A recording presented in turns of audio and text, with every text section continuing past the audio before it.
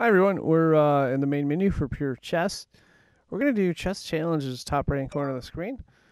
We're going to do bonus games. Uh, we're doing the set mate in one. And today we're going to tackle problem number 18. Now, as always, if you'd like, you can go ahead and hit pause and take a minute to uh, analyze the screen here. Okay, uh, I trust you've had some time. Now we got to figure out a way to get checkmate in one move here. Uh, black has his king way down on e8. Uh, black has uh, two different squares, and none of them are being guarded right now.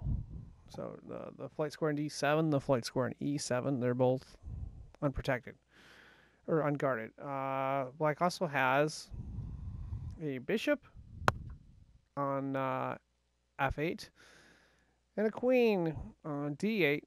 The queen on d8 guards both these squares. Uh, it also has another bishop that guards the uh, d7 square, and of course that f8 bishop we're talking about guards the e7 square. So how do we get, you know, how do we get checkmate in one move? We've got a knight right here. Uh, that's not going to get it done because it doesn't have enough range. Uh, we also got a knight on d2. Same thing, not going to have enough range. Uh, pretty much the only thing we can do is uh, we have this queen on e1. We can't do anything with it because it, it, doesn't do anything. But if you'll think on another level, you'll notice that uh, there's this piece in front of it called a bishop. If we were to move this bishop out of the way, it would open up, it would create a discovered check for the uh, queen. But uh, if you also remember earlier, each one of these squares has two blockers, two defenders. The queen and the bishop uh, defend this uh, d7. The queen and the bishop also defend this. This f8 bishop defend the e7 square. So we have to have a move that'll put the king. Uh, that'll be two checks on the king, and block. Uh, you know, prevent. You know, force black's king to move and prevent uh, black from using their blockers because in this case, black has a lot of blockers.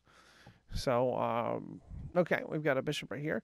What we need to do is take that uh, e2 bishop and move it to the b4 square, or b5 square, sorry. b5 square will put the king in double check, be checking the bishop and checking the queen. And uh, black can only block one, uh, meaning it'll be checkmate, problem solved. So we put it right there. Black gets checked from both sides. Can't do you it had those squares well defended. Uh, and yeah, that pretty much uh, wraps this up. I am signing out. Thank you for watching.